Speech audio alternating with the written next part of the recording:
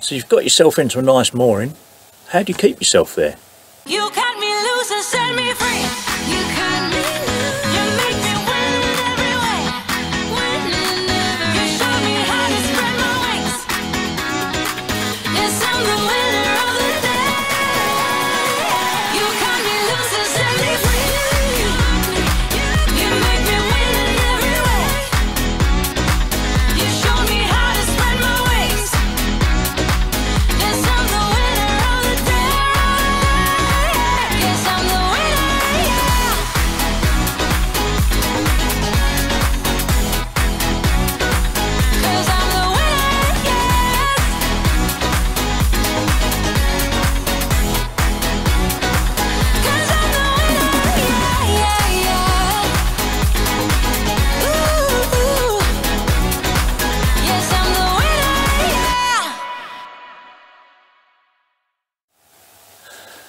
Today we're going to talk about basic mooring lines and mooring knots and hitches.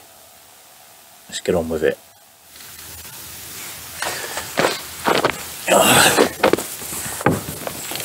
Oh.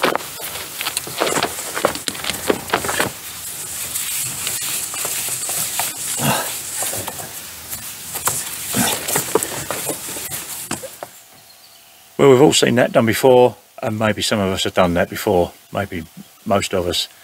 But let's have a chat about the correct way of doing it.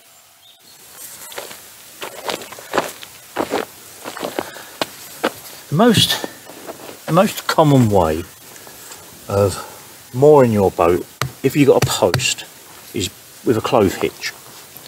Now, all this entails is if you've got the boat on your left hand and then the rope on your right hand, you just want to put a loop in the rope right under left, put that on, and then do the same again, right under left, put that on over the top, and then just snug that up. And that will hold your boat quite nicely. The only problem with that is, as discussed in a previous video, if you've got a bit of to and froing, it can start to work loose a little bit. It, it can start to work loose. If you've got a constant pull on it, it'll be fine. If it's backwards and forwards in, it can work loose a little ways. So if you suspect that might happen, your other option which is more secure, is the round turn and two half hitches which we used in a previous video. So you'll do a round turn, only this time, instead of using the, we're going to fold the rope over on itself like this. We're going to double the rope up. So you've got your round turn, now you're going to go over the top through. Pull that. And then you're going to do the same again over the top and through. And pull that. And that'll be your round turn and your two half hitches.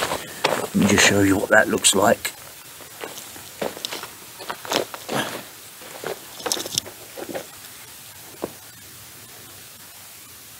Round turn two half hitches that will be that'll be more secure.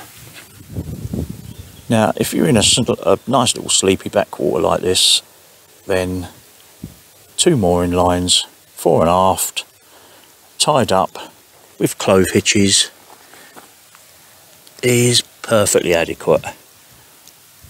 Perfectly adequate. Now if I were in more tidal waters there's something else I would do and that is called a spring line. And let's show you how that works.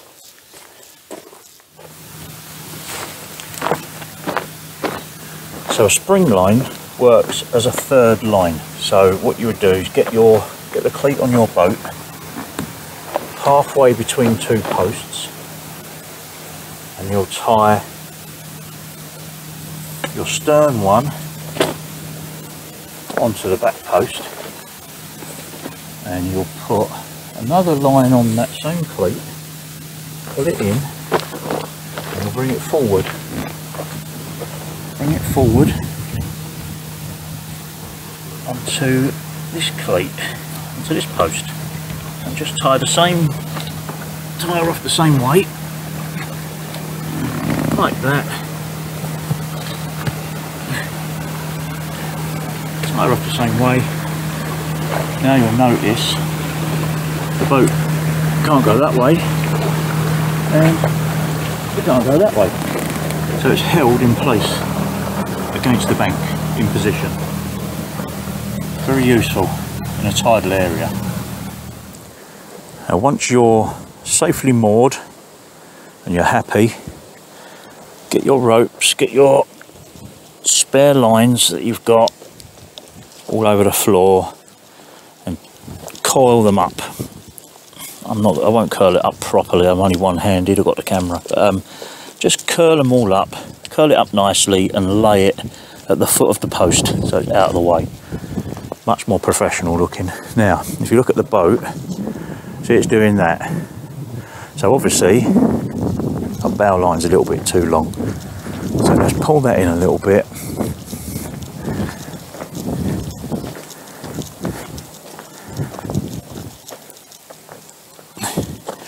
So we're just going to pull that in a little bit.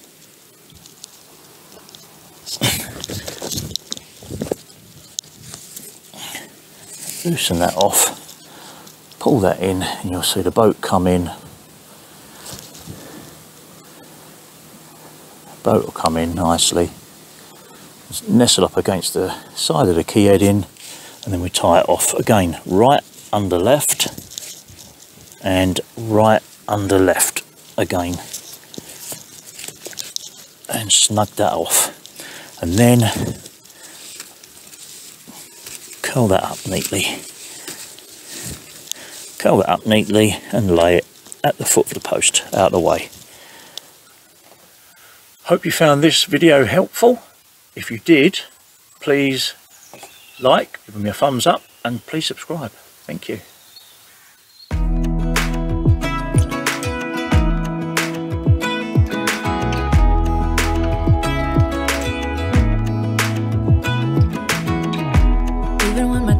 Teardrops start to dry. Even when the sun begins to shine again. I'm taking all the advice there is, and none of it has helped. Experience has made me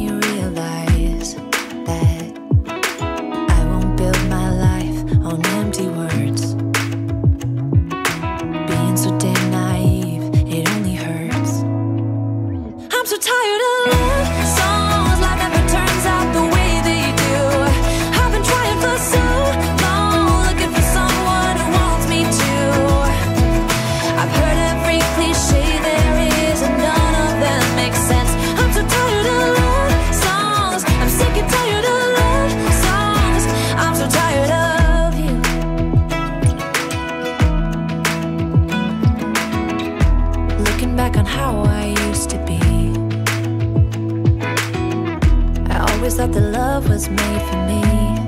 Oh well. I was just as blue eyed as the sky could ever be.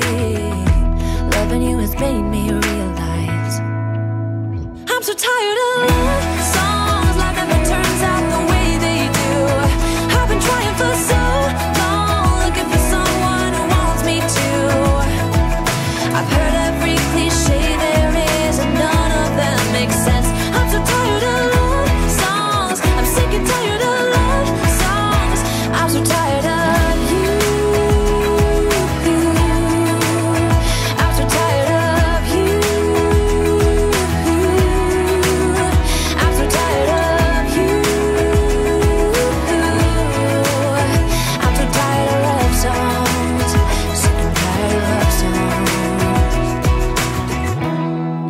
my teardrops start to dry. And even when the sun begins to shine again. I've taken all the advice there is, and none of it has helped. I'm so tired of love songs.